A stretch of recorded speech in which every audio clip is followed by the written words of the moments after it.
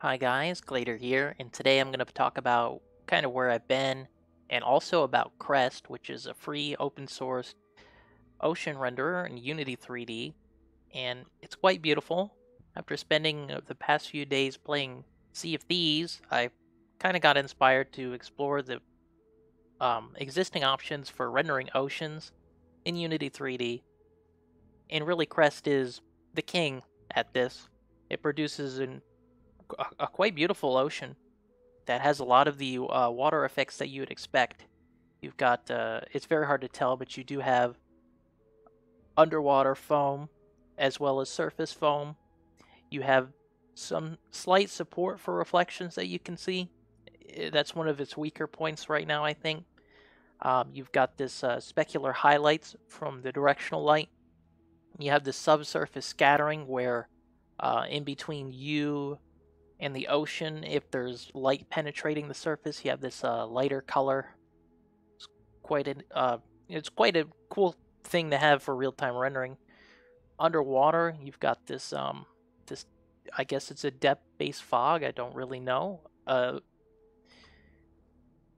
and you know you've got this. Uh, it's brighter over towards the light, and if we go over towards um the shore, oh great! Of course the water's going down now. Okay, so you can see these uh, distortion of the lighting from the surface, water surface, and you can also see that there is uh, there is refraction. It's hard to tell because there's nothing there. Let me see if I can put a cube down there for you. Okay, now you can see that uh, we've got some refraction. Maybe a bit too much refraction.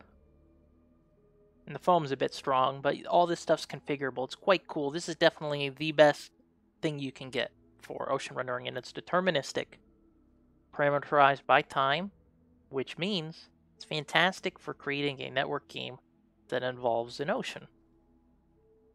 And it's only going to start looking better because eventually it's going to have HDRP impl implementation.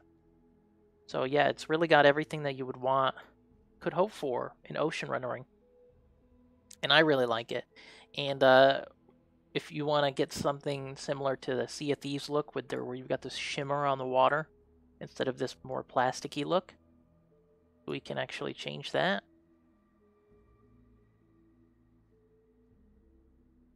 It's very configurable, so you can get this to look like whatever you want.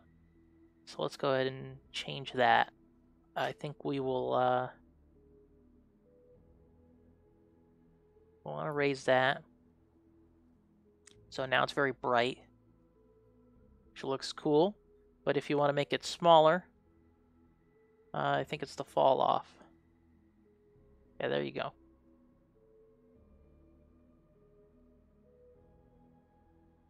So now you have that sparkly Sea of Thieves look uh, from the directional light. What would be nice is if you could, when you're not facing the uh, when you're not actually facing the directional light, you don't get any of that shimmer. So that would be one nice thing that you could maybe maybe get, and it adds some variation. Because there are pockets of the ocean that don't have variation, and you can kind of it something looks wrong. So if so if uh, these these like sparkly uh, bloom specular highlights were added in other parts other than just the intersection of the light from the directional light and the ocean surface, that would be great. But other than that, man, this is this is exactly exactly what I was looking for.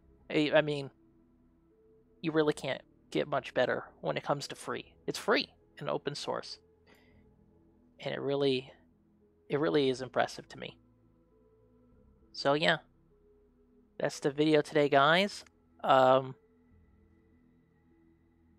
that's where I've been. I've been slacking, to say the say the least. Let's see if we can change the color. Yeah, look at that. Ooh. Um. Okay, well, we don't want to change that. Yeah, so it's pretty cool. It's pretty beautiful. I love it. And the best part about it is it's parameterized by time. Glad everyone has support for network time synchronization, so you can synchronize the ocean simulation between clients. and I might be doing something with that soon. So stay tuned for that. And thanks for watching this very random video about Crest, the cool open source water rendering system in Unity 3D. And I'll see you in the next video.